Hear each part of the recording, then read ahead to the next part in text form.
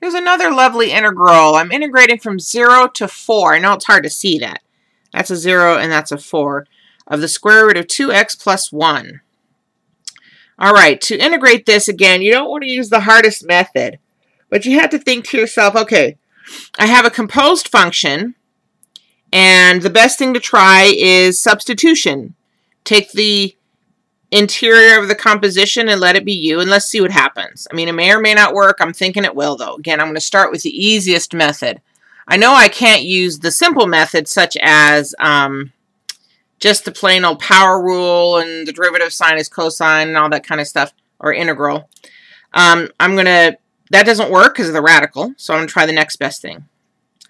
So du is equal to 2 dx. And um, I just have a 2x plus 1, so that'll be my u. And my dx looks like it'll be 1 half du. So I should be able to substitute. Now this is equal.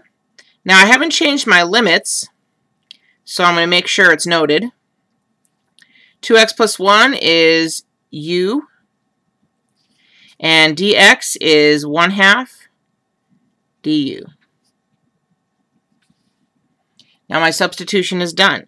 Now I can change my limits if I want, but most students don't like that, so I'm not gonna. So, I'm, but I do need to write them with the x values to remind me. This is 1 half the integral from x equals 0 to x equal 4 of u to the 1 half du. Using your power rule, u to the 1 half plus 1 divided by 1 half plus 1. x goes from 0 to 4.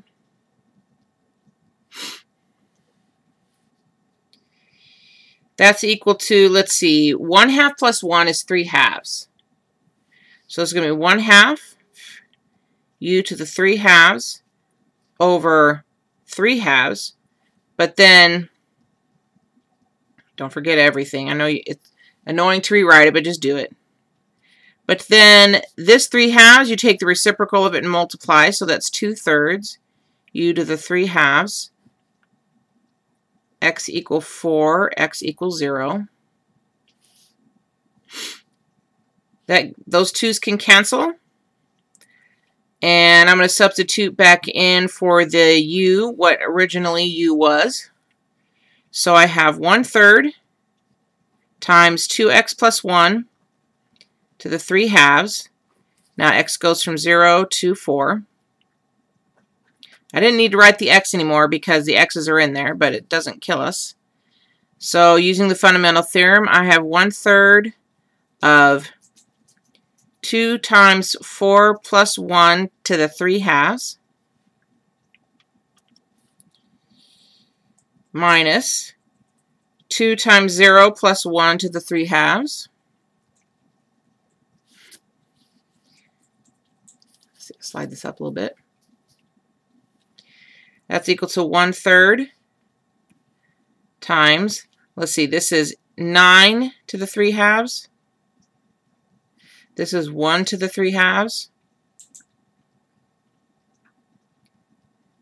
9 to the 3 halves, uh, the denominator is a root, so that's going to be the square root of 9, which is 3. And then 3 cubed is 27 minus 1. So it's going to be 1 third of, of 26. Or 26 divided by 3. Now, since you're, for those who are in my class, these are gateway problems. Um, you aren't allowed to use calculators, so get used to practicing without calculators.